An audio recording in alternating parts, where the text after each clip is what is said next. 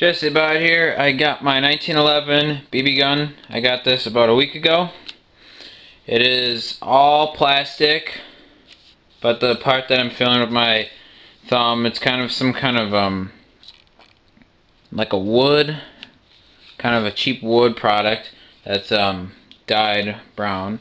I got this for 20 bucks and this works pretty damn good, but I'd say long range does not work good with this weapon, but I got a target down there. I'm gonna shoot a few rounds and show you how good it is. So this is gonna be kind of hard since I got the camera in front of me. And it's a cockback one, it's spring loaded too.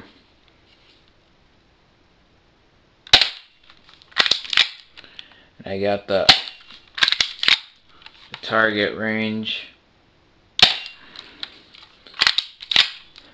from 100 to 5. And I'll do one straight down the camera side view.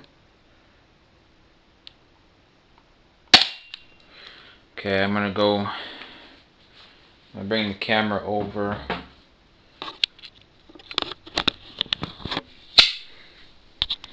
Okay. As you can see, it almost had a 100. It had a 50, a 5, and it looks like it just nicked the 25 range, but I'd probably say that this weapon, the accuracy is not that good, but it's definitely a weapon to recommend to get, a BB gun, this thing.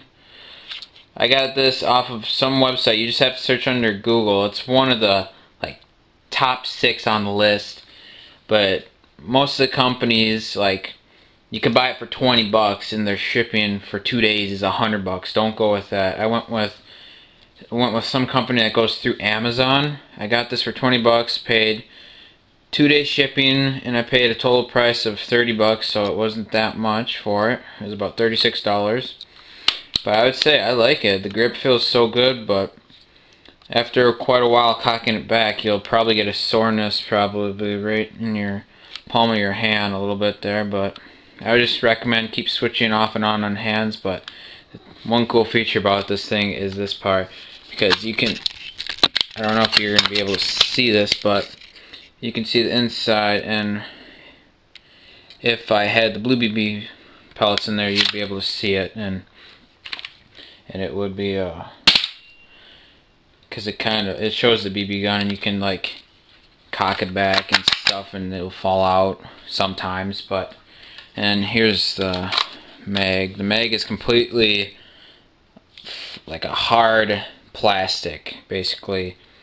It has no spring on it at all. The spring is inside at the very bottom. It must be a huge ass one because it fits this thing fits about 20 plus probably 20 to 25 rounds by what I was researching on the computer for the BB gun for the 1911. But, and this has a security feature on it. You press that up right there. And it has another thing that you press, you have to press with your palm real hard in order to shoot it. Or it won't shoot because it locks the, locks it. See like, I won't have it on here. But, see I can't get it, but once I go like this, shoot it as you can see there.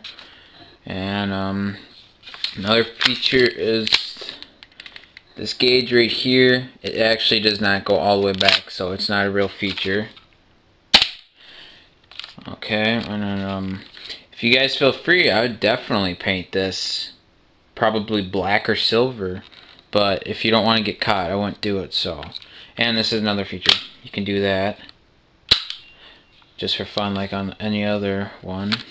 So basically and basically this is the last feature that you probably could possibly use is you could use this to put like a camcord um, strap around it around your hand so you don't like you can like drop it and it won't fall on the ground.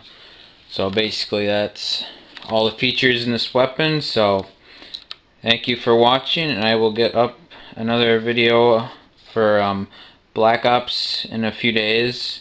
I've taken a few days off since it's my last week at school, so I had to get a lot of homework done. So thank you for watching once again, and go subscribe and comment. Bye.